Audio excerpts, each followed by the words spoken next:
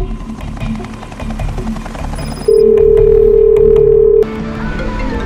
thought she was training for the Olympics. Hey, shooter.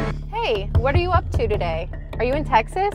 Yeah, I'm in town. I'm actually heading to the gun range right now. You are? Oh, I was just thinking of doing the same thing. Awesome. Frisco Gun Club, and I will send you the address. See you then.